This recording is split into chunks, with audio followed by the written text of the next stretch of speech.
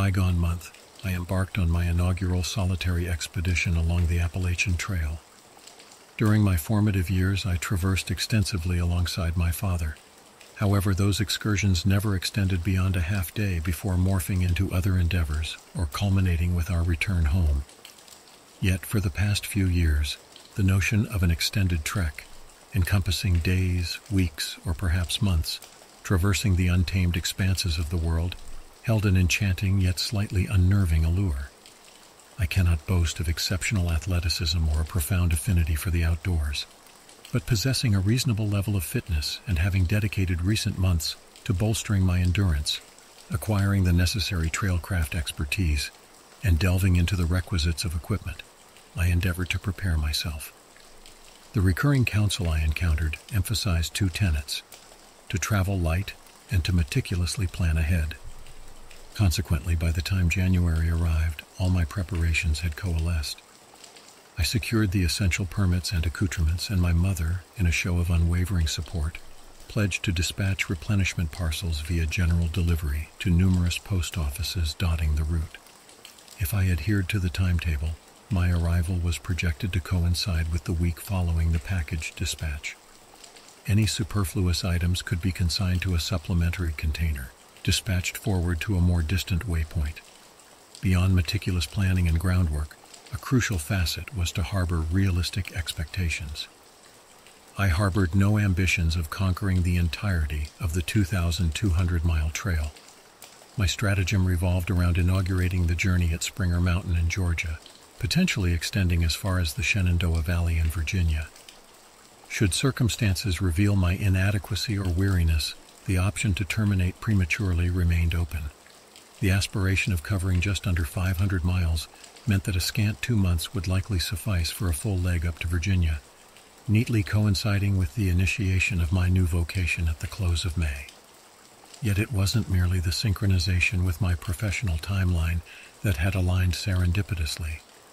It felt as if all elements of the cosmos had conspired to facilitate this expedition, propelling me towards its realization. And so, one early March day, adorned with my backpack, I secured my vehicle and commenced my sojourn. The inaugural day proved splendid. The climate maintained a pleasant coolness, the panoramas unfurled in breathtaking splendor, and an exhilarating enthusiasm coursed through my veins, spurred by the novelty of this distinct endeavor and the prospect of uncovering a fragment of the world that often slips from memory amidst the humdrum of urban existence. Though my distance covered on the first day amounted to a modest eight miles, my primary concern centered on my ability to set up camp. While I had practiced extensively, the chasm between rehearsing in one's backyard and applying the skills while weary and in genuine need loomed substantial.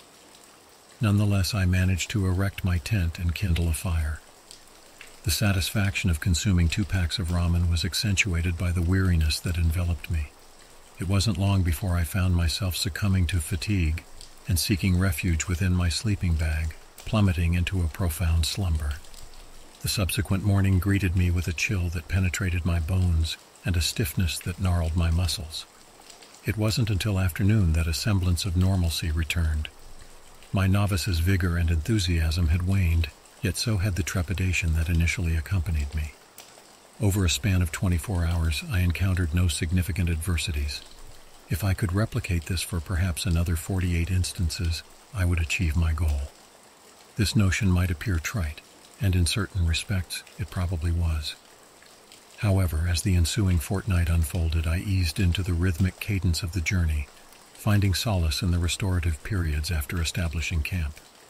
The nocturnal hours occasionally wore an eerie shroud, framed by obsidian darkness and punctuated by peculiar echoes resonating from the enigma of night. Nonetheless, trepidation failed to seize me, slumber felt secure and inviting. This state of equilibrium persisted until the onset of the storm.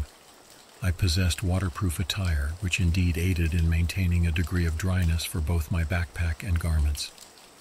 Nonetheless, its effectiveness was limited in preventing the rain from enveloping my face and trickling down my neck. By the time the second hour of the torrential downpour arrived, I discerned the initial squelches in my footwear, a forewarning that moisture was penetrating despite their waterproof nature. By the fourth hour, my feet had turned numb and chafed, prompting the realization that I urgently required shelter to recuperate and dry off for the day. The challenge extended beyond mere rainfall, however. The accompanying wind exacerbated the situation. While my tent had garnered favorable reviews and appeared to be holding its own, erecting it amidst a storm was uncharted territory. The feasibility of assembling it with the prevailing weather conditions was uncertain. Additionally, I lacked certainty about the structure's stability and its potential for remaining dry unless the conditions abated. Nevertheless, I was reluctant to push the limits of my endurance without affording my feet an opportunity to recover. Hence, I commenced searching for azure markers along the trail, signifying a promising campsite. It was during this pursuit that my attention was drawn to a wooden sign indicating the presence of an Appalachian trail shelter a couple of hundred yards ahead. Adjacent to a blue blaze marker was another sign pointing to a side trail. Following this trail for half a mile, I discovered the shelter, a modest arrangement consisting of three wooden walls and a roof. A blue tarp was partially suspended along the outer edge, functioning as a makeshift fourth wall to repel some of the rain. My stomach churned slightly at the sight. Hitherto, I had encountered and conversed with a few fellow hikers on the trail. But this marked my maiden venture into utilizing a shelter or confronting the prospect of sharing space or even sleeping in proximity to an unfamiliar individual. I reached into my pocket, my fingers brushing against the pocket knife, a small semblance of reassurance in case I were to encounter any potential threats. Still, I mustered a smile as I pushed aside the tarp, revealing an empty interior. No signs of human presence lingered, no belongings, and no damp patches suggestive of recent habitation amidst the rain. I scrutinized the tarp more closely. Its hue remained vivid, untouched by the sun, and its texture exhibited minimal wear. The question of why someone would abandon it after setting it up perplexed me, particularly if it had been arranged by a passing hiker. Regardless, gratitude welled up within me for the haven and solitude it offered.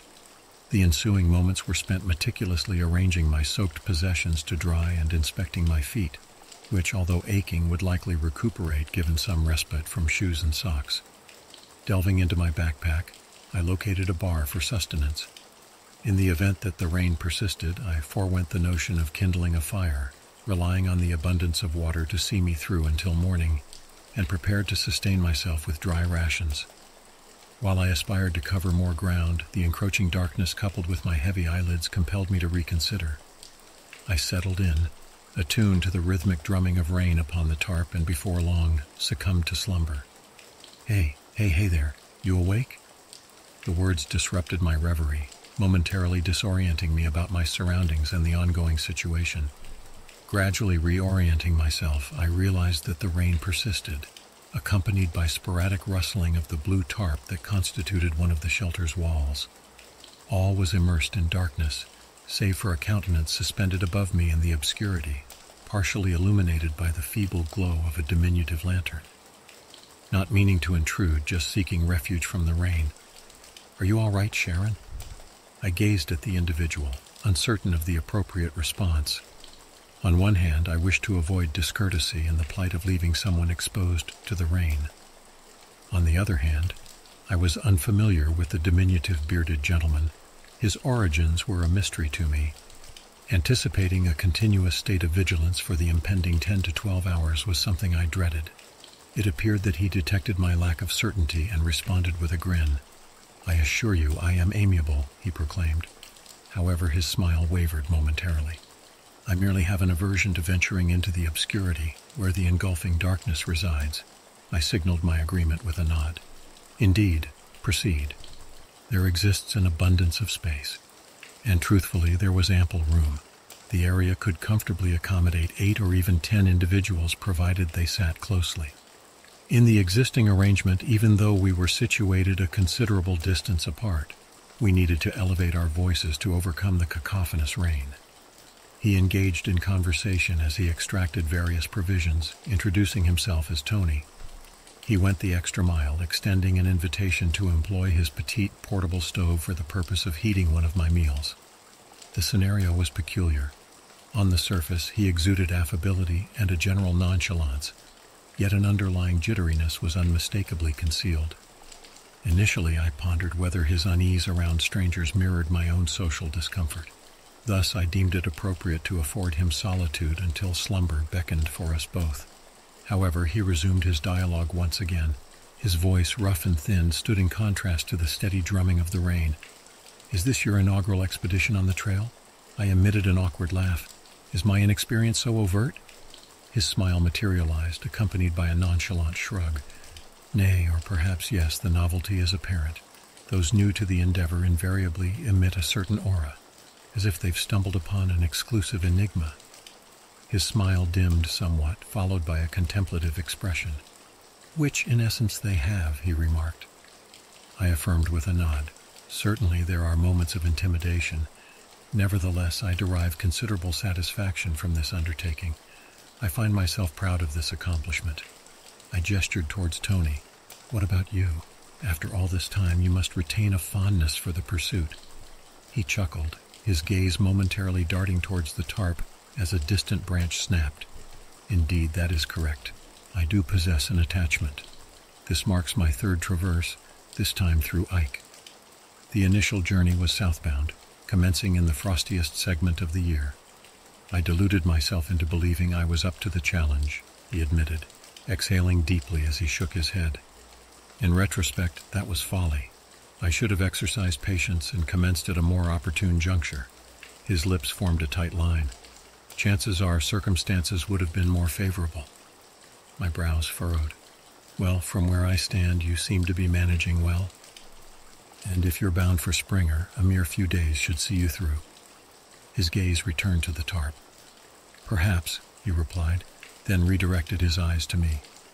Listen, what I'm about to disclose may sound nonsensical, but if you've heard anything peculiar during the nighttime hours, particularly these past few nights, I mean, I know that nocturnal sounds can be bizarre trees creaking, birds and other creatures producing enigmatic noises. Some of it I can discern, but frequently I'm at a loss. I chuckled. You'll have to provide a more precise description. My acquaintance with such oddities is rather extensive. He absently rubbed the backs of his knees, managing a faint smile as he nodded. Of course, indeed, it's. Tony hesitated before continuing. It's akin to the wail of an infant. An unsettling sensation tingled in my stomach. However, I compelled another smile. This does indeed resemble a tale suitable for sharing around a campfire. I motioned towards his modest butane stove but I dare say that contraption doesn't quite qualify as a campfire.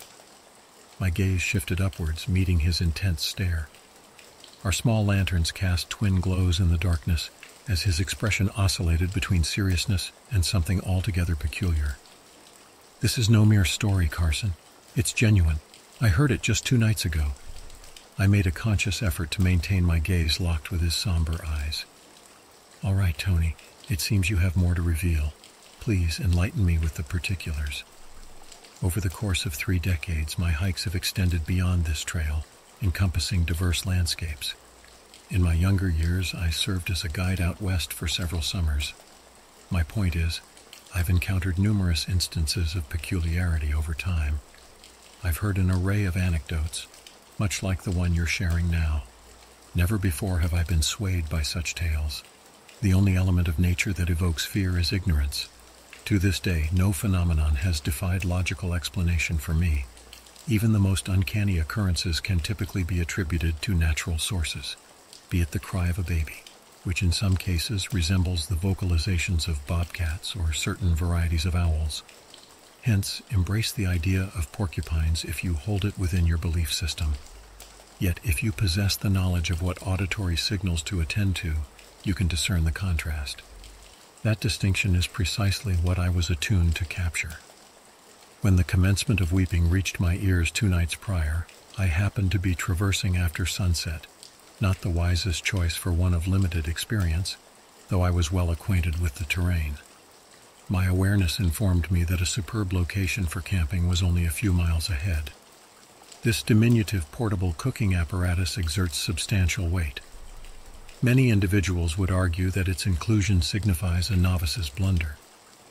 Nevertheless, it facilitates my arrival at the destination sans the need to engage in the ordeal of kindling a fire, should I opt not to. On numerous pleasant evenings, I forego the unpacking of my tent altogether. I meander through the moonlit expanse until fatigue beckons me to rest. Subsequently, I settle down, warm sustenance over the stove, and retire beneath the celestial canopy. These ruminations occupied my thoughts while I progressed toward that specific area on the creek's fringe. It wound its course downwards, culminating in a waterfall sufficiently proximate to serenade one into slumber. That's when the lamentation began. Could it be a bobcat, perhaps? No, the tones were too meticulously modulated and crystal clear for such an attribution. Furthermore, there was an unanticipated warmth to the sound. Initially, my curiosity was piqued. However, as the lamentation resurfaced, a burgeoning sense of apprehension took root at the recesses of my mind. The sound was unmistakably that of an infant, a living, breathing human infant, left to wail amid these wooded environs. Conceivably, the progenitors were incapacitated or had forsaken their offspring. Regardless, the infant was imperiled, experiencing agony or distress. It necessitated intervention. This imperative transformed into an undeniable mandate. Thus, I deviated from the trail, forging my path through the thicket, restraining the impulse to break into a sprint. Swiftness was imperative, Yet a sprained ankle or fractured limb would render me incapable of rendering aid. Besides, the probability of securing a cellular signal at such a remote locale was far from guaranteed. Thus I paced myself, adroitly navigating between trees and shrubbery, ascending and descending hillsides. The infant's cries persisted, acting as my compass, guiding me closer, closer until I stood in its midst. An expanse of winter trees, bereft of their expected foliage, greeted my sight. A fleeting thought brushed the periphery of my mind. Were these arboreal forms deceased? However, a sudden gust of wind swayed their lithe branches, cutting through my contemplations. The infant's cries enveloped me, borne upon the wind akin to a clutch of crimson leaves, foretelling danger, or perhaps worse, the aftermath of peril. A shudder coursed through me as I scanned the obscurity, seeking the origin of the infant's anguish. Initially, my search yielded naught. Yet an epiphany dawned, prompting me to cast my gaze upwards, toward the nearest tree. A pair of luminous yellow eyes greeted my gaze, unflinching and unwavering. My initial assumption veered toward error. The source was, in fact, a bobcat. However, upon closer scrutiny, it became evident that these eyes were aberrant, too expansive, their distance apart, conspicuously deviant. The eyes initiated their motion through the obscurity, progressing toward the tree's trunk before descending groundward. It was then that I aimed my flashlight, thus igniting the sequence of my shriek. In certain aspects, it resembled a child, albeit not an infant, but rather a youth of around twelve, gauging by stature and limb proportions. Yet its integument exuded the texture of arid reptilian hide, or the very bark of a tree. As it descended, the skin exhibited a curious fluidity, akin to mimicry of its surroundings. Its digits, elongated and spindly, terminated in broad pads, each adorned with barbed talons that sprouted like punitive implements. Its countenance, however, plunged into the abyss of obscurity, dominated solely by those infernal yellow orbs. Allow me to emphasize the gravity of my assertion. It's not that its head was obscured from view, quite the opposite. I perceived it with utmost clarity as it drew closer, crawling in my direction. I implore you to grasp this fact. It possessed no head whatsoever. Those luminous orbs, shrouded in the abyss, held sway over the space where a head should rightfully reside.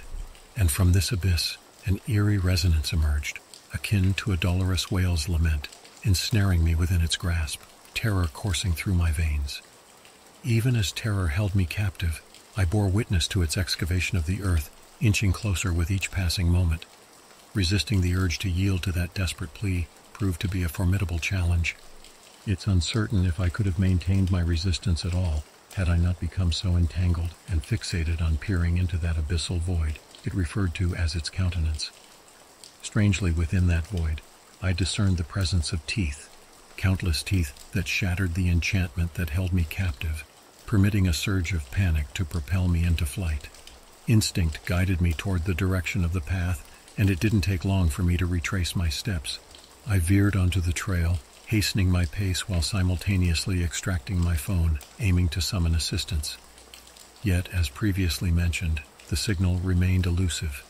Gazing back, no trace of the entity pursuing me materialized. Even if there were auditory indications of its pursuit emanating from the adjacent woods, they remained obscured by the cadence of my breath as I endeavored to increase the distance, vigilant against stumbling. The fear of not merely injury, but of an imminent attack kept me upright.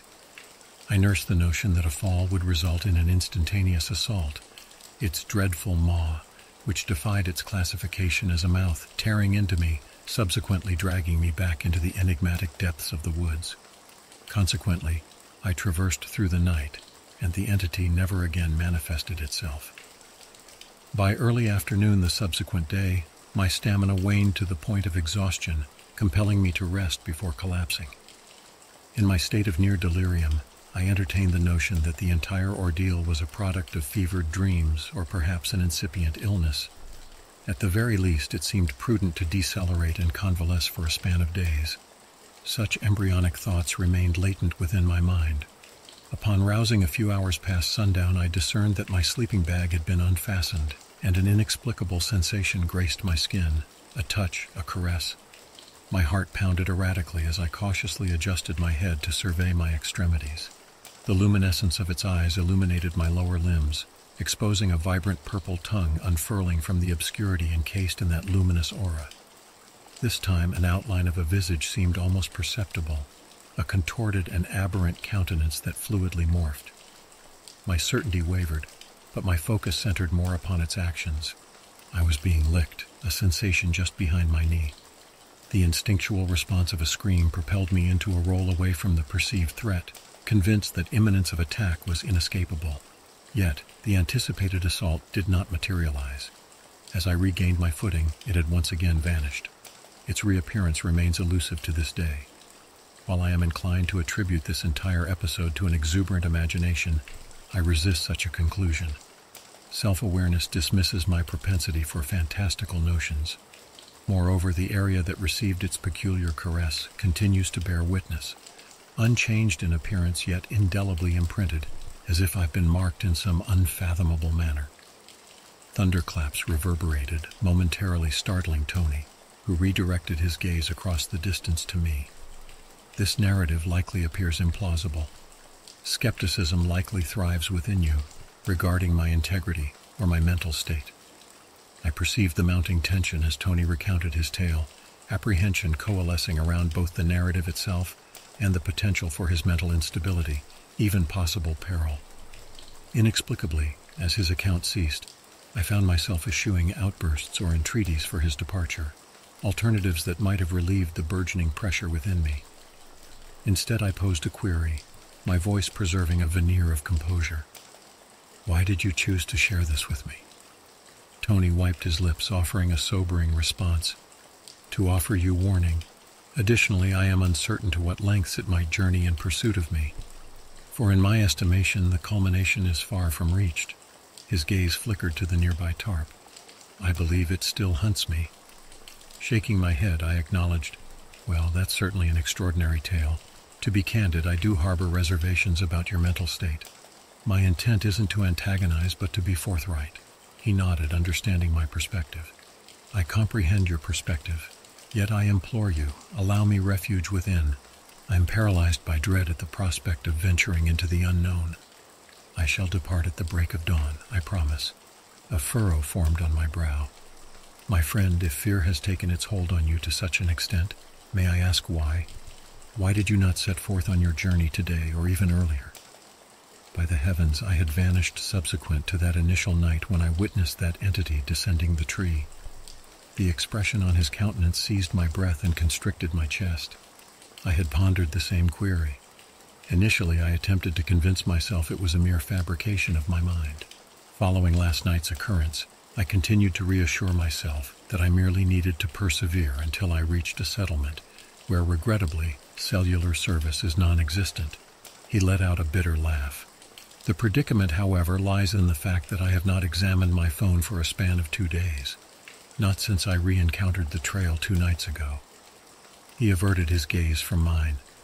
I hold the belief that it will no longer permit me to depart, exhaling a gradual breath as he spoke. I brushed my fingers against the blade in my pocket once more. Very well, my thoughts are in disarray. Nonetheless, I can perceive the depth of your trepidation. Remain on your side, and equilibrium shall prevail. Agreed. He vigorously nodded.